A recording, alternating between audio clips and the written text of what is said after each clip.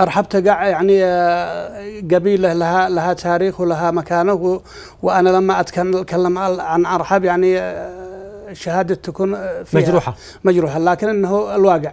أرحب تقع ما بين ما بين أمانة العاصمة صنعاء يلي هي بني الحارث قبليا. بني الحارث وهمدان وعمراء مع أيضا حاشد خارف مرهبة سفيان دهم نهم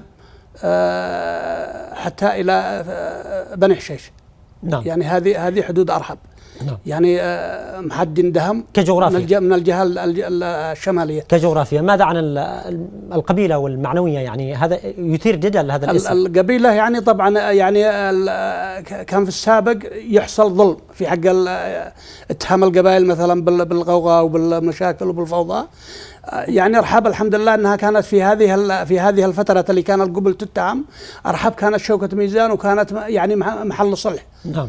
يعني حافظوا على الأسلاف والأعراف. بقبائلها ورجالها يعني. آه، يعني مشايخها يعني حملوا العرف والسلف.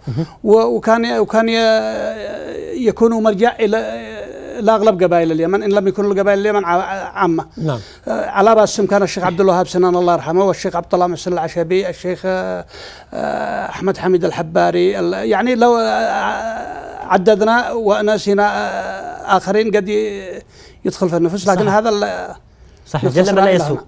طبعا الأرحاب عشر قبل. نعم.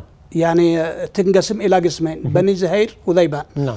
بني زهير يعني لها خمس مشايخ ومشايخ شمل ويا ضمان. آه ذيبان نفس الكلام خمسة.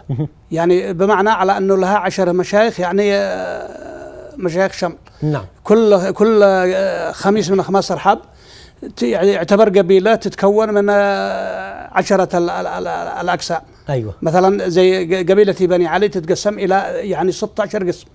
قسم يعني قرى. يعني لا ها. آه، تعتبر يعني حباء. آه. نعم. نعم.